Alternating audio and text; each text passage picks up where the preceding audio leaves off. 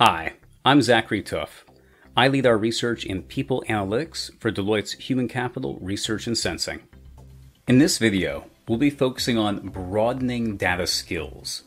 This means establishing data savviness, not just for analytics resources, but for the organization as a whole. Why are broad data skills important? Let me begin by sharing a well known Indian parable about blind men describing an elephant.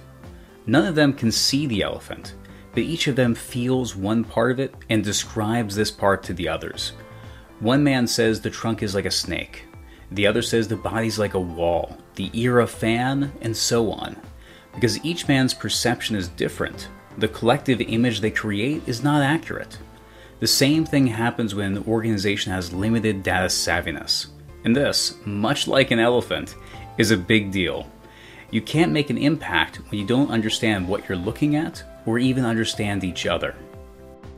Not everyone in your organization needs to be a data scientist, but your broader HR team or applicable workforce can still benefit from having data skills. By this, we mean knowing what questions to ask, how to gain data that solves problems, how to interpret others' analyses, and how to communicate with data. To achieve this, several skills are critical. First, basic data literacy. This is being familiar with basic statistical concepts like a mean, the average value, median, the middle value, and mode, the most frequently occurring value, normal distribution, to determine if data falls into a bell shaped curve or if the data is skewed, and representative and random sampling. Techniques to make estimates about a larger population based on collecting data from a smaller group.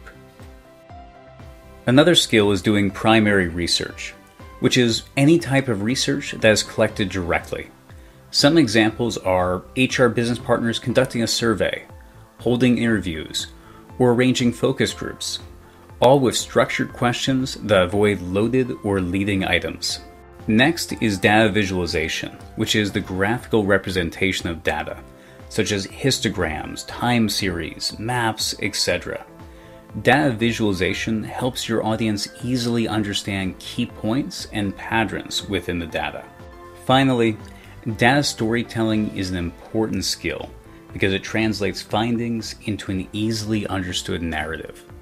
Consider details such as what was the need? What key insights were found? How can the audience act on these insights to create an impact? It's imperative to find ways to help teams develop data skills.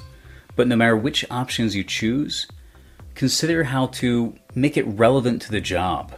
People value skills that they can apply regularly. Make it happen within the flow of work.